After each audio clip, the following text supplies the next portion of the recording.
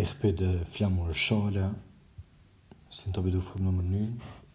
Wir haben das äh, Viereck, wo wir das unregelmäßiges Viereck, das erstellt werden soll. Also wir haben hier A, B, C, D. A, B, C, D. Wir haben den Winkel Alpha, Beta, Gamma und den Winkel Delta. Wir wissen außerdem, dass der Winkel Alpha der ist gleich 90 Grad groß. Die Seite A, da ist A, B, C, D.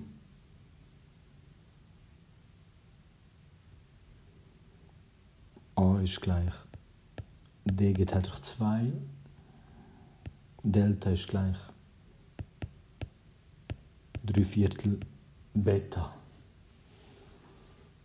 Wir haben die Distanz D, die haben wir hier angegeben, das ist die Distanz D, und wir haben den Winkel Beta angegeben. Der sieht folgendermaßen aus ungefähr. Das ist der Winkel Beta.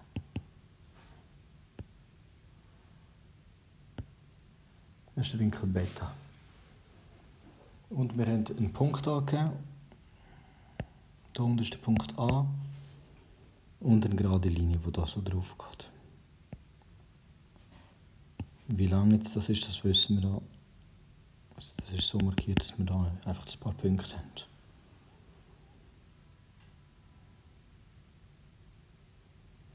In dem ersten Schritt, also wir wissen, dass das so eine Zeitlänge D ist.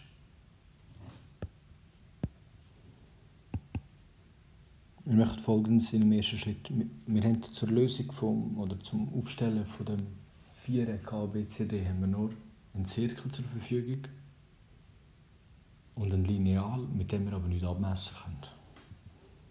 Wir setzen also einen Zirkel hier an, das ist der Punkt A und da hinten der Punkt D und ne, tragen die Distanz hier unten ab.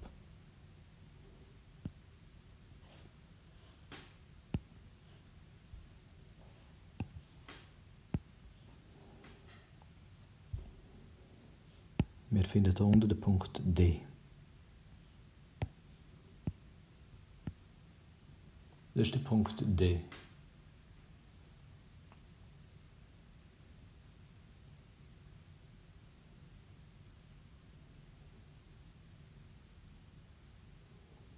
Wir wissen anschließend, dass Alpha 90 Grad ist. Das heißt, wir, wie finden wir jetzt da raus, wo 90 Grad ist? Können es folgendermaßen herausfinden. Wir können dann gerade die Linie nach oben zeichnen, einen, Kreis um, einen halben Kreis um Punkt A einzeichnen. An den beiden Schnittpunkten setzen wir unseren Zirkel jeweils an und gehen hier über den Mittelpunkt A drüber hinaus. Wir zeichnen hier mit der je, je, jeweils gleichen Distanz, also einmal beim unteren Punkt, einmal beim oberen Punkt angesetzt zeichnen wir da so eine, ein bisschen mehr als ein Viertelkreis, vielleicht ist es ein Drittelkreis. Und ziehen nachher da eine gerade Linie durch. Und die gerade Linie, die zeichnen wir mit unserem Lineal. Jetzt gehen wir da hin und nehmen alle unsere Hilfslinien weg. Was da entsteht, ist ein 90 Grad Winkel. Wir haben hier damit Alpha eingezeichnet. Das ist Alpha. Jetzt wissen wir zudem, dass der Punkt, nicht der Punkt, sondern Seite A halb so lang ist wie Seite D. Wir können also hier beim direkt in unserer Zeichnung ansetzen. Wir setzen beim Punkt A an, unser Zirkel nennt hier so einen, vielleicht einen Drittelkreis oder einen Viertelkreis.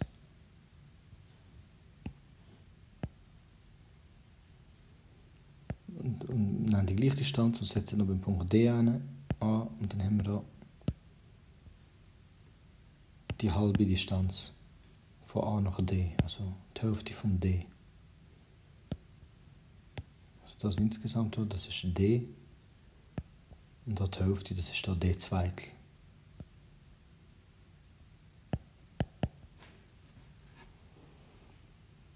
Jetzt können wir da unten, wir haben ja da unten schon Linie eingezeichnet, wir können die auch weiterziehen und dann mit dem Zirkel beim Punkt A ansetzen, die halbe Distanz nehmen und hier unten mit 90 Grad Winkel abtragen. Und hier unten finden wir unseren Punkt B. Wenn wir hier ankommen, dann schauen wir nach, was haben wir da für weitere Informationen. Wir kennen den Winkel Beta. Wie können wir den Winkel Beta hier unten abtragen? Wir markieren hier also Winkel Beta, Punkt B. Wir nennen die zwei Punkte. Wir nennen das B1 klein, B2, also B klein geschrieben und dann haben wir hier einen Punkt B1 und B2 und verbindet die beiden Linien miteinander. Wir nehmen den Zirkel, setzen bei B1 an und äh, messen die Distanz B2 ab, tragen sie ab, also am Messen, wir nennen es einfach einen Zirkel. Hier unten und zeichnen mit dem gleichen Radius, das ist wichtig.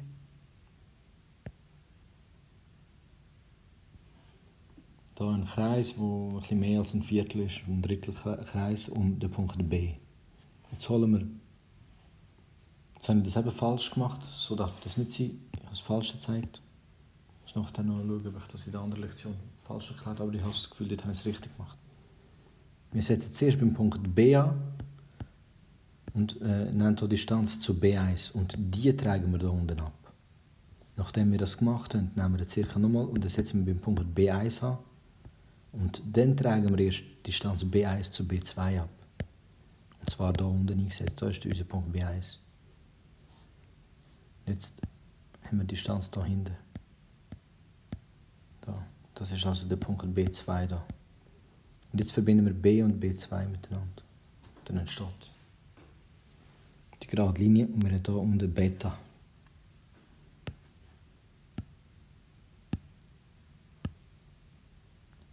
können wir wieder all unsere Hilfslinien wegnehmen, entfernen und dann hier weiter rechnen. Und dann haben wir die Seite nicht B, sondern Seite A ist das. Und hier haben wir jetzt die Seite B, hat mit B1 und B2 nichts zu tun. In dem vierten Schritt oder in dem letzten Schritt wissen wir, Delta ist drei Viertel von Beta. Um das also abzutragen, gehen wir hoch und schauen, überlegen uns, wie macht man jetzt so eine Winkelhalbierende. Warum? Weil drei Viertel, zwei Viertel, das ist doch die Hälfte. Die Hälfte von der Hälfte ist ein Viertel. Da wieder ein Viertel. Wieder ein Viertel. Wieder ein Viertel. Das da ist drei Viertel. Das machen wir jetzt hier bei unserer Skizze vom Winkel. Wir nehmen also den Zirkel, setzen hier bei dem B1 und B2 an zeichnet dann, gehen ein bisschen über die Mitte von der Distanz zwischen B1 und B2 und zeichnen das einen halben Kreis. Und das geht dann genau durch, den Punkt B. Und da oben natürlich da durch den Schnittpunkt. Ich kann es jetzt von Hand zeichnen, darum sieht das nicht so genau aus, aber was da am Schluss entsteht, ist folgendes. Die zwei Linien verbunden, die gehen genau durch Punkt B durch. Das kann man schon als Kontrolle machen oder ja, als Prüfung. Überprüfung. Was jetzt entsteht, ist hier 92 Grad Winkel. Wenn hier 92 Grad Winkel entsteht, dann haben wir genau die halbe Strecke zwischen B1 und B2 und durch das haben wir unten auch Beta halbiert. In zwei gleich grosse Winkel, ich schreibe es hier oben an, B Zweitel und B Zweitel nochmal. Jetzt gehen wir rein in die Zeichnung und nehmen alle unsere Hilfslinien weg. Es reicht ja, dass wir das hier oben haben, äh, auf dem Umkreis wo das, das ungefähr durchgeht. Die Trennung. Jetzt geben wir dem Punkt hier oben den Namen B3. Jetzt verbinden wir B1 mit B3 und B2 mit B3.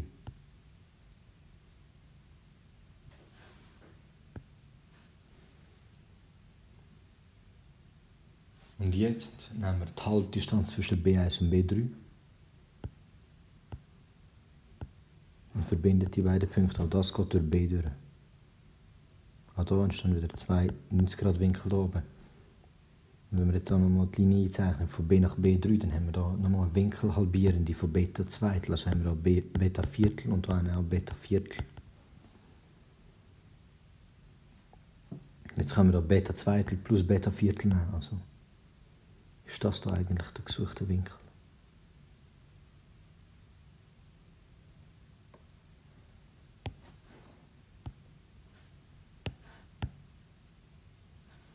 Jetzt haben wir da oben bis dahin haben wir Beta Zweitel.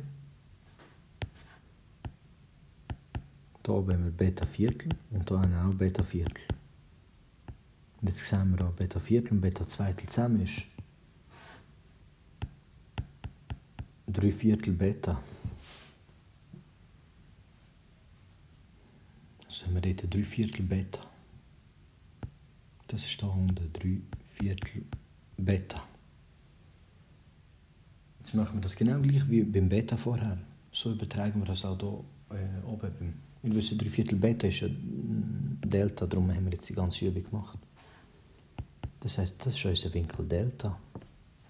Und auch da wieder nehmen wir jetzt, wie haben wir jetzt den Punkt oben genommen? BS3, das war äh, Punkt B4. Gewesen. Jetzt verbinden wir B2 und B4 miteinander. Das ist dann unsere Distanz, um Delta abzutragen. Das heißt, wir gehen hier rein, setzen den Zirkel beim Punkt B an und beim Punkt B setzen dort an und nennen die Distanz von B zu B2, also echt der Radius. Und das setzen wir nachher hier beim D, übertragen das beim D, weil jetzt ist unser B da gleichzeitig unser neues D. Dann zeichnen wir hier den gleichen Radius. Ein Viertel, vielleicht ein bisschen mehr, ein Drittel von einem Kreis. Ein Drittel von einem Kreis ist mehr als ein Viertel von einem Kreis.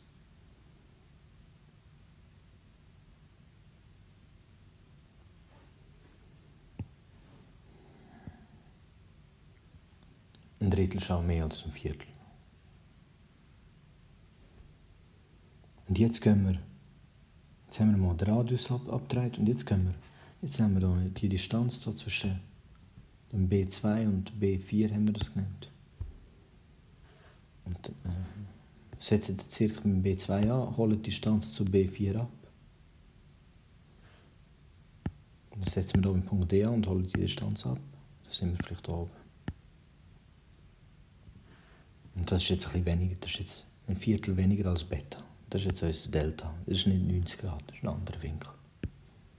Hier haben wir noch den Punkt C. Da, wo sich die beiden Gerade schneiden, das ist der Punkt C. Und mit dem haben wir unser Viereck aufgebaut, anhand von diesen Informationen. Gut.